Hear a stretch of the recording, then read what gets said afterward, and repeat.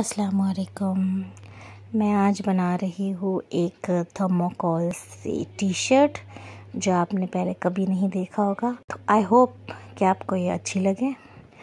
आपको बस इसके लिए एक थर्मोकॉल शीट लेनी है। उस पर वन बाय वन करके एक चॉकलेट्स कैंडीज़ आपको स्टिक कर देना है। अगर हमारी चॉकलेट कैंडी स्क्वायर हो तो बहुत इजीली लाइन से वो स्टिक हो जाती है। और जब हम ये पूरा कंप्लीट कर लेंगे, पूरा स्टिक कर लेंगे तो उसके ऊपर कॉलर बनाने के लिए हम एक सॉफ्ट थर्मोकॉल लेके उसको फोल्ड कर देंगे ऐसे शेप में और एक स्ट्रिप काट के सामने स्टिक कर देंगे। उस पर हम छोटे छोटे बटन ऐड कर देंगे। आपके पास अगर दूसरे कलर के बटन हो तो आप वो भी ऐड कर सकते हैं। मेरे पास वाइट मोतियों के बटन थे तो मैंने उसे स्टिक कर दिए। और छोटे वाइट क्रिस्टल थे मेरे पास तो वो मैंने कॉलर पे स्टिक कर दिया।